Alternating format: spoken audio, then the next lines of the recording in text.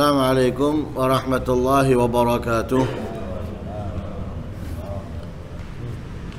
بسم الله والحمد لله والصلاة والسلام على رسول الله سيدنا ومولانا محمد بن عبد الله وعلى آله وصحبه ومن والاه ولا حول ولا قوة إلا بالله. نويت التعلم والتعليم والنفع والانتفاع والمذاكرة والتذكير والإفادة والإستفادة. والحث على تمسك بكتاب الله وسنة رسوله والدعاء إلى الهدى والدلالة على الخير ابتغاء وجه الله ومرضاته وقربه وثوابه من الله تعالى. قال المصنف رحمه الله ونفعنا به وأرمكم في الدارين. آمين. في كتاب التبيان في آداب حملة القرآن إلى قوله فصل fi masaila gharibatin tad'ul hajatu ilaiha minha annahu idza kana yaqra'u fa arada fa arada lahu rihun yanbaghi an yumsika anil qira'ati hatta yatakamala khurujuha thumma ya'udu ilal qira'ati kadza rawahu ibnu abi dawud wa ghairuhu an ata wa huwa adabun hasanun ومنها أنه إذا تثاءب أمسك عن القراءة حتى ينقضي التثاؤب ثم يقرأ. قاله مجاهد وهو حسن. ويدل عليه ما ثبت عن أبي سعيد الخدري رضي الله عنه. قال قال رسول الله صلى الله عليه وسلم إذا تثاءب أحدكم فليمسك بيده على فيه. Faina syaitana yadkhulu rawahu muslim. Kali ini membahas tentang masalah-masalah yang gharib. Yang dibutuhkan untuk difahami, diketahui. Agar dapat menjalankan adab yang sempurna di saat membaca Al-Qur'an. Yang pertama yaitu ketika seseorang membaca. Di tengah-tengah membaca ia ngentut. Hendaknya memberhentikan bacaan Al-Qur'annya sampai benar-benar kentutnya selesai ya mungkin orang yang hafal Quran atau orang yang sedang membaca Al-Quran tanpa memegang. Kan boleh membaca dia. Boleh membaca Al-Quran. Lah ketika membaca Al-Quran adab yang sempurna memiliki wudhu lah mungkin dikarenakan malas wudhu atau semisalnya dan ia tidak ingin menghentikan bacanya hendaknya berhenti sejenak sampai kentutnya selesai. Tapi tetap lebih afdal bagi dia berhenti bukan hanya berhenti kemudian lanjut meneruskan tapi wudhu baru melanjutkan. Seperti itulah yang diriwayatkan oleh Imam Ibnu Abi Dawud dan selainnya daripada apa dan itu adalah adab yang baik. Jadi bukan sambil ngentut sambil membaca.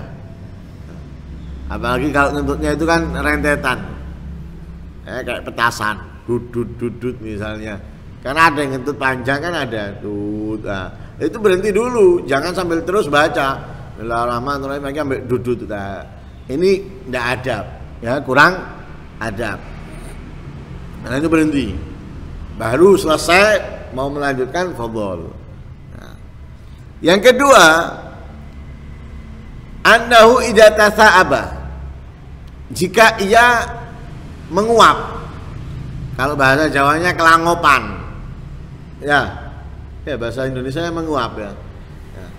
atau kelangopan. Amsaka anil kiroa berhenti dulu dari bacaan.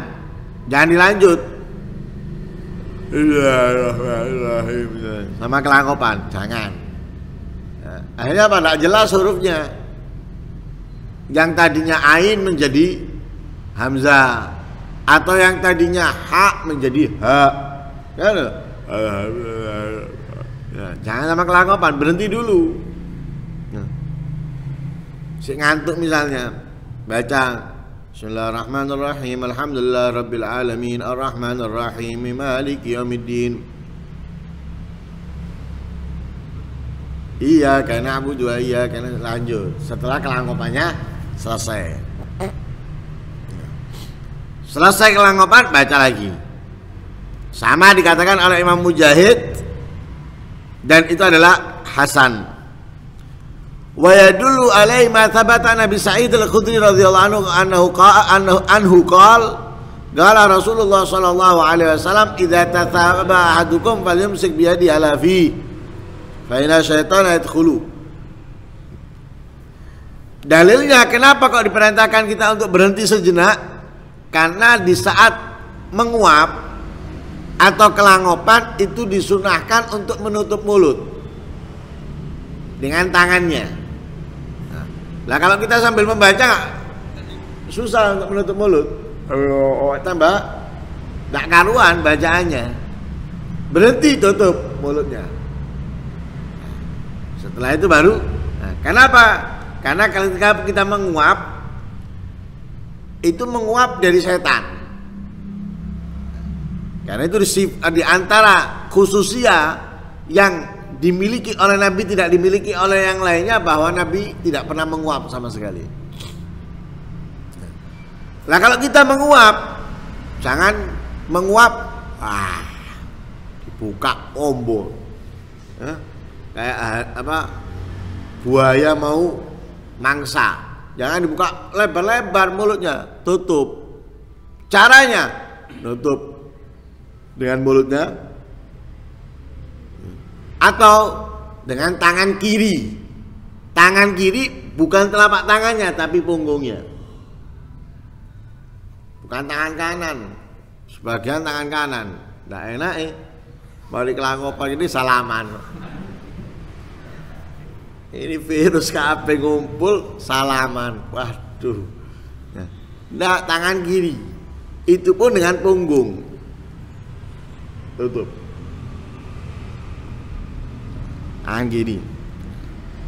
Kenapa disunahkan nutup? Fa inna syaitana yadkhulu. Ya, karena setan itu masuk. Ketika seseorang menguap, setan itu masuk. Nah, bahkan di dalam sholat, ketika dalam sholat pun disunahkan kita ketika menguap untuk menutup mulut kita. Ya dengan cara tadi tuh. Atau dengan tangan kiri punggungnya. Yang kedua. Yang ketiga, dan ini mungkin sebagian sudah kita singgung di beberapa pertemuan yang berlalu. Annahu idza qara'a qaula Allah azza wa Allah wa qalatil nasara al-masih ibn Allah wa qalatil yahudu yadullah maghlula wa qalu takhadar rahmanu walada wa nahwa dzalika minal ayat bagi an yakfidha biha sautahu nah. ketika seseorang membaca ayat Al-Qur'an wa qalatil yahudu Uzair ibn Allah ini ada di juz 7 akhir juz 7 sebelum innallaha thalithu thalatha wa qalatin nasara al-masih ibn Allah atau juz 11 surat taubat ya, juz 10 ke juz 11 surat taubat Waqalatil Yahudu Uzair ibn Allah. Orang-orang Yahudi berkata bahwa Uzair itu putranya Allah, anaknya Allah. Ya. Orang Nasara berkata Masih itu anaknya Allah. Ayat yang lain, waqalatil Yahudu yadullahi maglula. Orang-orang Yahud berkata bahwa tangannya Allah terbelenggu.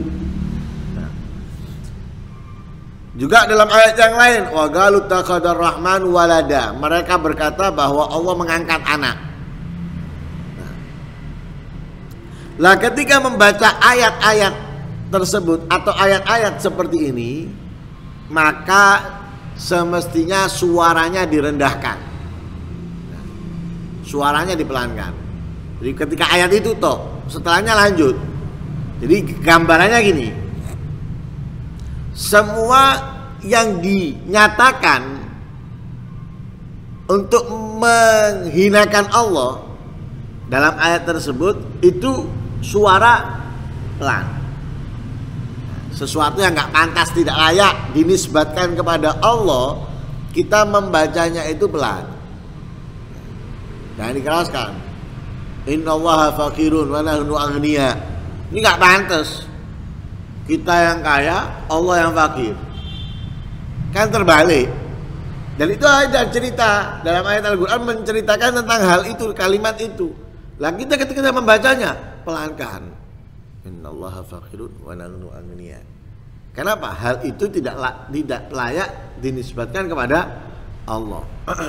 nah, karena itu kita perlu memahami ayat-ayat Al-Qur'an agar kita bisa menjalankan adab dengan sempurna. Ya. Kalau kita nggak memahaminya, ya kita membacanya biasa. Nah, kita akan membacanya biasa, nggak ada bedanya dengan ini dan itu. Nah, tapi kita bisa mengetahui dari beberapa ayat ini. Ya. Waqalatil yahudu yadullahi maglula atau waqalatil yahudu Uzair ibn Allah waqalatil nasara Masih ibn Allah ya. waqalat takhadallahu walada innallaha thalithu thalatha atau innallaha fakirun wa nahnu agniya. Lah ayat-ayat ini ketika kita membacanya pelankan suara. Dalam ayat ini, potongan ayat ini. Setelahnya kita keraskan lagi. Sebelumnya keras pas itu pelan kemudian keras keras lagi. Kemudian yang keempat. Marawah ibnu Abi Dawud bi isnadin dhaif an Sya'bi. Annahu qila lahu idza qara al-insanu inna Allaha wa malaikatahu yusalluna 'alan nabi ya ayyuhalladzina amanu sallu 'alaihi wa sallimu taslima. Ayusalli 'alan nabi sallallahu alaihi wasallam Gala na'am. Diriwayatkan oleh Imam Ibnu Abi Dawud dengan sanad dhaif dari Syaibi. Bahwasanya beliau ditanya, bagaimana jika seseorang membaca Allah wa malaikatahu sampai akhir di saat membaca Al-Qur'an juz 22 apakah dia bersolawat kepada Nabi Shallallahu Alaihi Wasallam? Dijawab, iya. Jadi ketika kita membaca ayat tersebut, Inna Allah wa malaikatahu yusalluna ala nabi. Ya ayyuhalladzina amanu sallu alaihi wa sallimu taslima. Berhenti, salawat dulu. Allahumma salli wa sallim alaihi. Ya, Minimalnya itu. Allahumma salli wa sallim alaihi Karena perintahnya salawat dan salam. Jadi kita Allahumma salli wa sallim alaihi. Nah, Dan masih ada beberapa di situ ya, beberapa yang disunahkan untuk kita baca di saat kita membaca, membaca akhir surat atau awal-awal surat. Ya. Ya, mudah-mudahan adab demi adab yang harus kita jalankan kepada Al-Quran dapat kita pelajari, dapat kita pahami dan kita amalkan di saat kita membacanya agar mendapatkan keberkahan yang luar biasa dari Al-Quran. Amin Allahumma Amin. Sallallahu alaihi wasallam Muhammadin nabiyil ummi wa alihi wasallam. Alhamdulillahi rabbil alamin.